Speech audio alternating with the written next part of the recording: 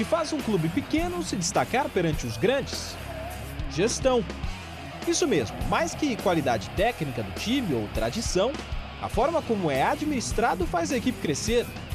A prova disso, três dos quatro pequenos finalistas do Paulistão são exemplos reais de clube-empresa. Eu acho que justamente o que a lei, quando foi criada, a Lei Pelé, quando ela previu a criação dos clubes empresas, era para chegar nisso que é hoje o Red Bull, que é hoje o Audax, que é hoje o São Bernardo.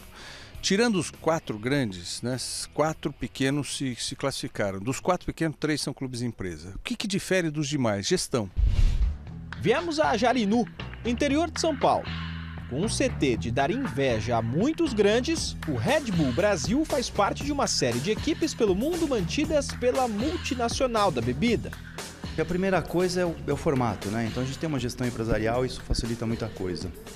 Ah, o segundo ponto é eficiência. A gente tem que dar muita importância para cada real que a gente recebe. Eu acho que é a eficiência que vai fazer a gente conseguir ser mais competitivo ou não.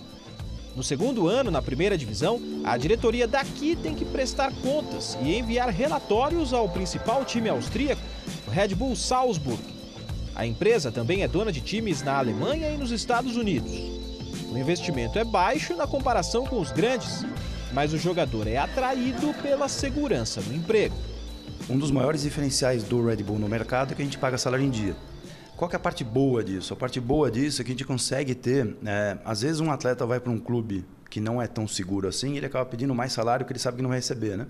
Então a gente consegue aqui oferecer um salário muito mais realista porque o cara sabe que vai receber. Bom, aqui no ABC, o São Bernardo é dos finalistas do Campeonato Paulista o de menor folha salarial, pouco mais de 300 mil reais para bancar todo o elenco. Bem, por isso, eles não reclamam de jogar o jogo único de quartas de final como visitante. Dividir a renda do Allianz Parque com o Palmeiras vai salvar o segundo semestre da equipe. O segundo semestre do São Bernardo será garantido por essa receita extra. Né? Se não fosse isso, o projeto era paralisar até a vinda do campeonato. Isso mesmo, não teria futebol no São Bernardo sem dinheiro no segundo semestre. Criado por políticos da região, a equipe tenta hoje se livrar dessa ligação e ser autossuficiente sem a influência de deputados ou vereadores. Já o nosso último exemplo está em Osasco. O Audax foi comprado por um empresário ligado ao Banco Bradesco, que passou a presidência para quem entende de futebol, Vampeta. Um time com um dono e um estilo próprio de jogo, o tic-tac de Fernando Diniz. Salário em dia, filosofia de jogo e vaga para as quartas de final à frente do gigante São Paulo. Eu não estou dizendo que ser clube empresa vai resolver tudo.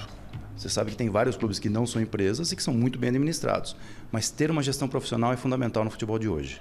No mundo de milhões pagos a jogadores e técnicos, clubes endividados e em crise política, os chamados pequenos tentam se destacar com metas, gestão e controle de gastos. Dentro e fora de campo, o duelo ainda é injusto. Mas é futebol. Vem aí jogos únicos de quartas de final. E por que não? Tudo pode acontecer.